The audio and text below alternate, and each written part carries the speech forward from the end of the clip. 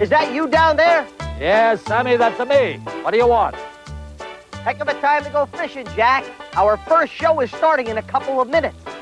Oh, my God, I forgot. I forgot. I'm sorry. Look, you guys take off and I'll join you later, all right? Any last minute instructions? Yes, Sammy, just be yourself. Just be yourself, you and Elaine, and everything's going to work out beautifully. Go ahead. We'll see you later.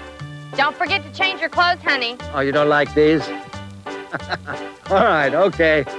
Bye.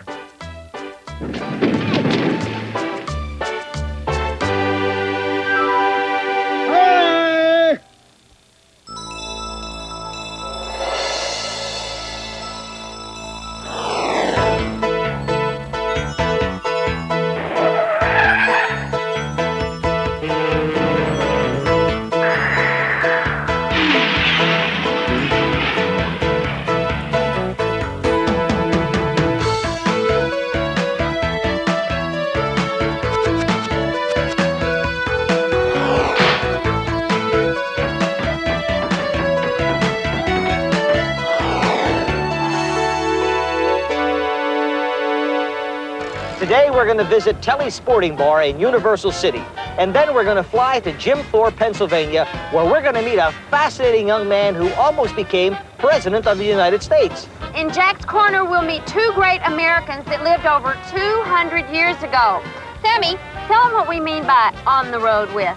What we mean is this. As we travel from place to place, we're going to use beautiful old cars, antique horse-drawn buggies, and many other modes of transportation that you're going to love. Well, I think it's time for us to be off in our 1930 Bentley Roadster, complete with leather exterior. Hang on to your seat.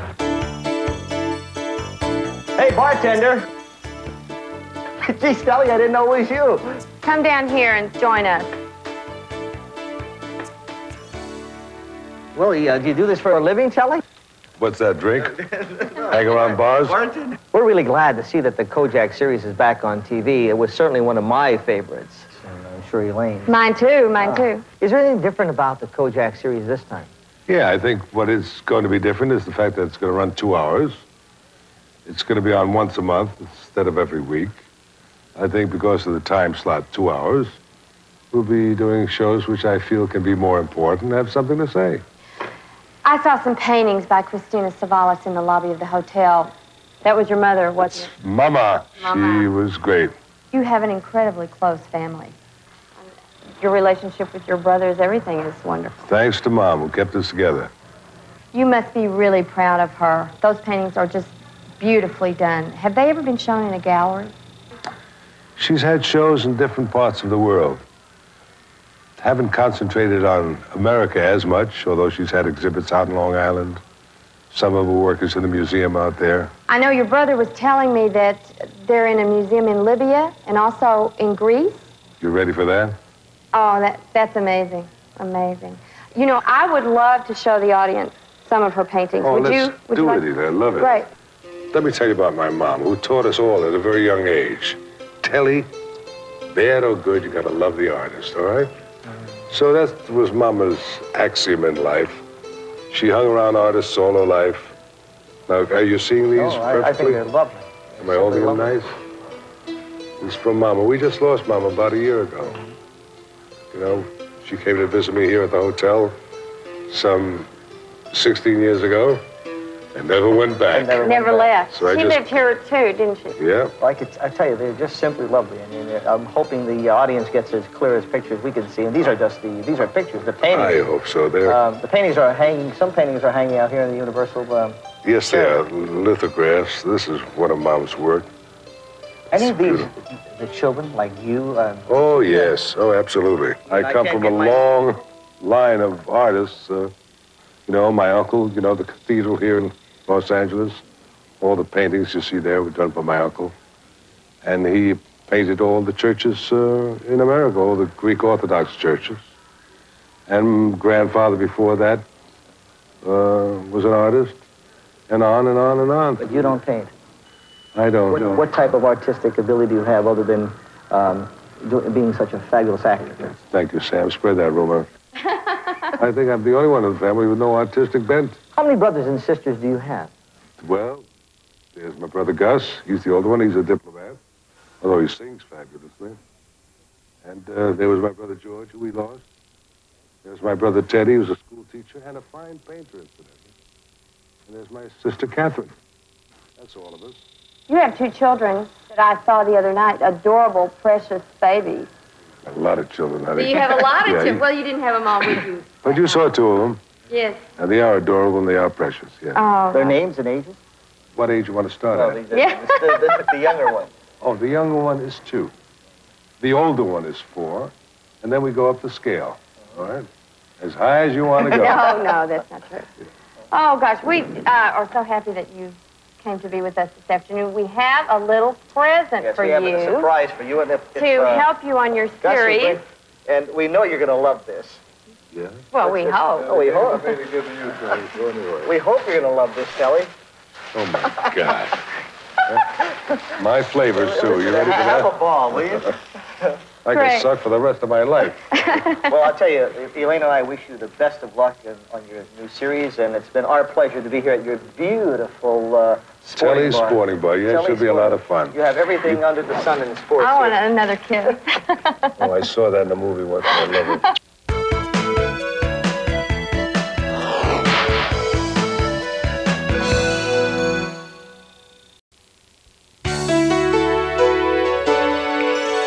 I've been a farmer all my life, born and raised on a small piece of property that we called a farm. Every inch of it covered with crops and uh, animals. Uh, corn, potatoes, chickens. Uh, corn here is magnificent, so that when I, when I bought this large farm, I decided to raise an awful lot of corn. This way, it reminds me of Hollywood uh, for obvious reasons. Farmers and actors have a lot in common, except that to be a successful farmer, you don't have to look like anything special. Whereas to be a, a super stud actor, you've got to have the Hollywood panache, and you've got to have the, uh, the profile, and what they've got to do for you is arrange these, these marvelous luncheons where you meet the press and the media and, uh, and, uh, and all the producers. In 1955, um, I was having a, I was having lunch at Warner Brothers restaurant in Burbank with, uh, with Gig Young, a well-known light comedy actor, and the already infamous James Dean, who was at that time working in a film called Rebel Without a Cause. The waitress gave us the menus, and I ordered very quickly because the specialty of the day was corn, potatoes, and chicken. Gig ordered a rather complicated sandwich and a double martini. And then Dean. Dean, uh, uh, he crossed and uncrossed his legs about 12 times, played a little melody on his lips, and then he looked up at the ceiling for about three minutes, and finally he said, Let me have one of them, their uh, hamburgers. I looked at, at Gig, and I thought he was going to have an apoplectic seizure, and he would have, except just at that moment, two lovely women came into the, into the restaurant and walked directly to our table. One of them was Jayne Mansfield. Jane ordered a, a sandwich and a cup of coffee, and Pier Angeli, who was uh, a friend of Jimmy's at the time, she was on a diet, so she ordered some fruit. Anyway, we had lunch. Five people who were like strangers unto each other, as actors very often are. And four of whom, within a relatively brief period of time, were to die tragically. Two of them by their own hand. That was a lunch to remember. And now, here I am in this cornfield about to have lunch again with Sammy and Elaine. Ah, but there is a note that says, sorry, we can't join you for lunch. See you later. That's brief and to the point, isn't it? I wonder if they heard my little story. Well, here we are, lunch. Uh, would you like to join me? Hi! How are you? Uh, What's it to you? I'm from the Sammy and Elaine show, and I just wanted to know. Which one are you? What do you mean? I'm Sammy. I'm sorry for you, and I'm sorry for her, too. See you around. That's a nice guy.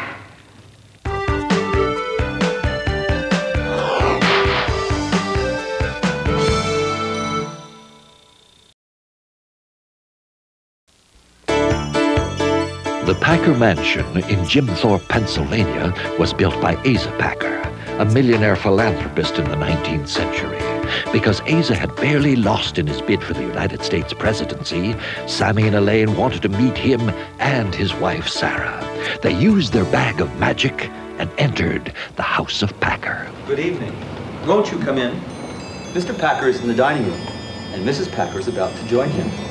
May I take your bag? When the Bailey, Banks, and Biddle American Gothic clock struck seven, Elaine became Mrs. Asa Packer, descending the beautiful English post oak staircase to the entry hall and into the dining room, where her husband was already enjoying his dinner and his artifacts, most especially the chandelier.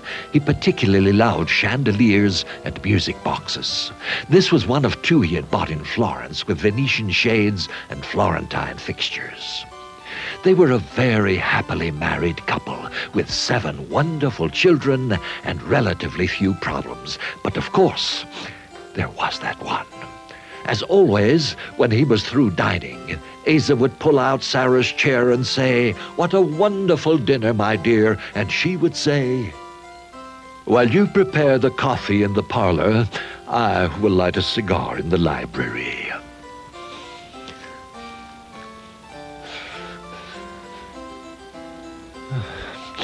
Sometimes I feel like I've worked all my life for this one enjoyment. Oh, I never told my wife that these cigars are a gift from the White House. No, dear, I must join Sarah for coffee. I love my wife very much, but oh, this cigar, well, I don't have to throw it away. I, mm, it's very expensive. I'll just put it in my pocket. She'll never know. This nine-foot Steinway grand piano has a marvelous tone.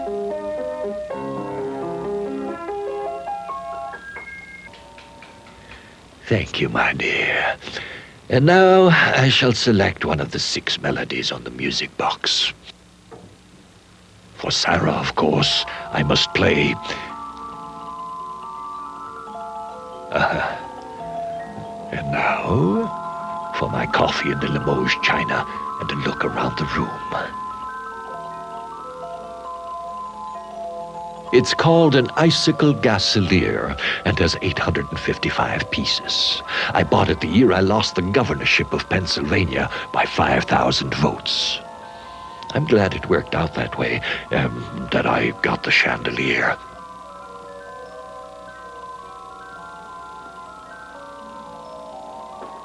Oh, she's very upset. Wants me to pick up her fan. of course I will. And now to bed. How do I love thee? Let me count the ways. This upstairs landing fascinates Sarah. Perhaps it's because our children are here. Oh, Sarah must tuck in Mary, who is always uncovered. And I must play this roller orchestrion with snare drums, violins, and 186 pipes. $1,600. Lord. and now we'll go to our bedroom. She's in such a jolly mood. But we already have seven children.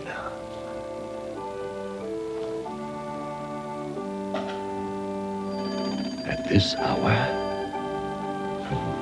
I think I'll take this call in the study. I don't want to disturb her.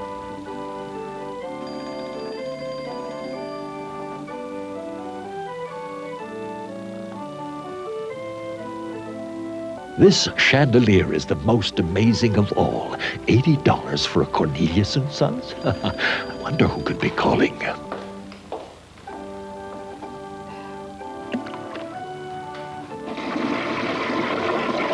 Oh, no. She wouldn't do that. I... What will I tell you this is? Hmm, I can't believe it. I can't.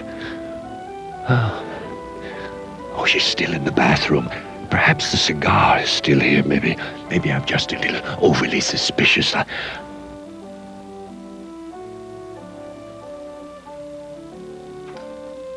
Oh, she's so lovely tonight. uh, but I must. Uh... Good night, dear. Oh, yes. Good night. Thank you for coming. Don't forget your bag. That was lovely, Asa. I mean, Sammy. Yeah, I wish I had one of those cigars.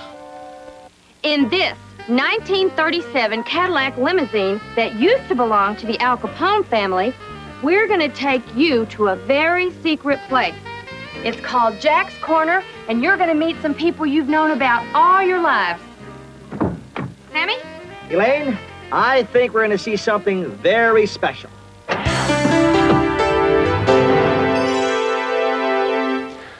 Jack's Corner is designed to bring you a series of unusual interviews, an opportunity to meet great men and women of the past who were controversial then and who left behind a legacy of myth and legend and unexplained activities that shocked and rocked a new nation that crawled and walked but had not yet learned to run. Also, over the next weeks, Jack's Corner will try to explain how and why these uh, seemingly irreverent meetings can take place. Today, we want you to meet the two great Americans who, on July 11th, 1804, that's 186 years ago, were involved in one of the last duels fought on American soil. Soon after this fatal confrontation with pistols, dueling was forever outlawed in the United States. The duelists were Aaron Burr, Vice President of the United States under Thomas Jefferson, and Alexander Hamilton, Secretary of the Treasury under George Washington. The powers that are and who make everything else be have given us just a few minutes for this, we hope, enlightening interview, and for this, we thank them. To my immediate right is Mr. Aaron Burr, and uh, across from me, Mr. Alexander Hamilton. Uh, I think you may have guessed why we wanted to talk to you. The duel? The duel? Yes, the duel. We want to know why. Mr. Hamilton. I did not issue the challenge. I did. Yes, I know, but why was there a challenge and why was it accepted? Mr. Hamilton, it was known that especially since your 19 year old son Philip had been killed in a duel three years earlier, you had an aversion to dueling. Yes, that is true.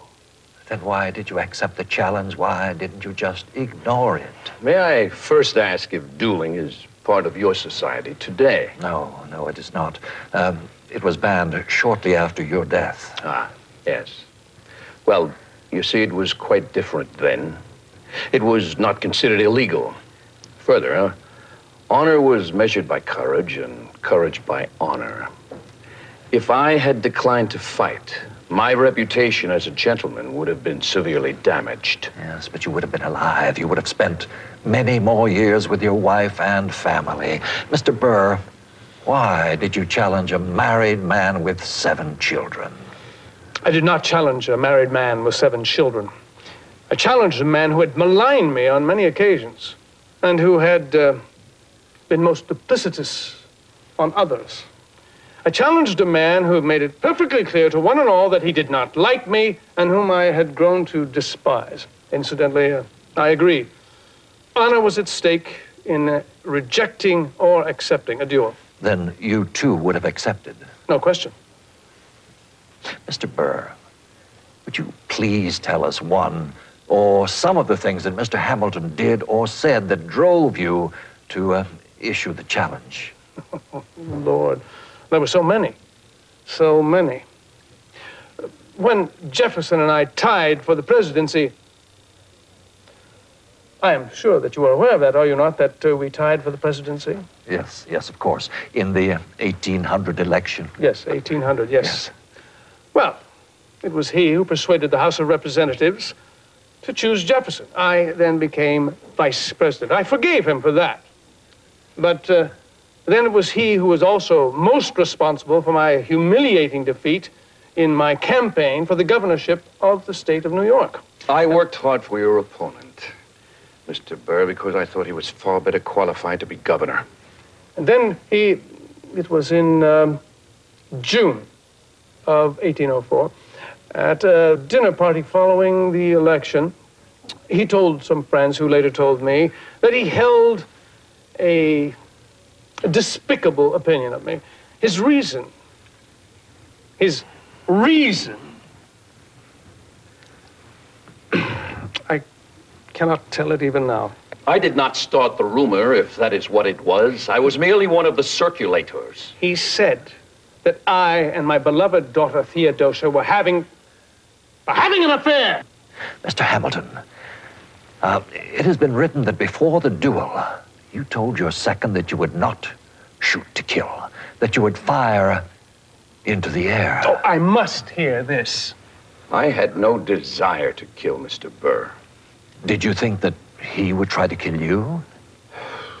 I wasn't sure, but yes, I thought so. Poppycock, if I may. If he fired into the air, it was merely to discredit my victory.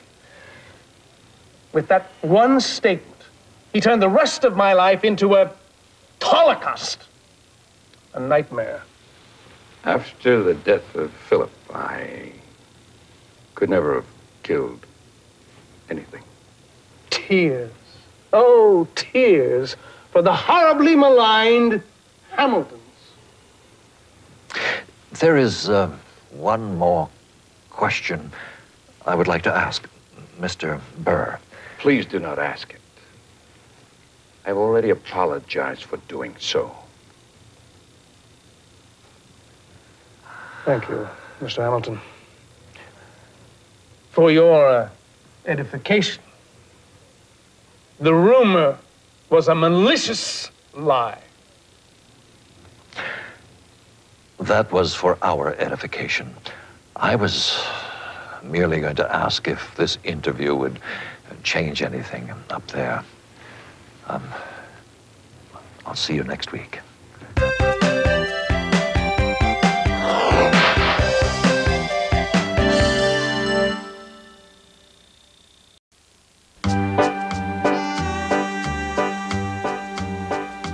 Hey, here comes the champ. Yep. I'm going to show you something, chump. I'm going to show you, look, I'm going to arrange these like this. All four thrown at the same time. I'm going to make four ringers at the same time. Uh-huh. Elaine, Uh, Jack, before you do that, $5 says you cannot do that. I don't want your $5, Sammy. I will take. I'll shine your shoes with my hands. Right. How'd you like Ellie? Oh, he was so charming. Yeah. Absolutely delightful. Okay, honey. Here we go. I want to see this.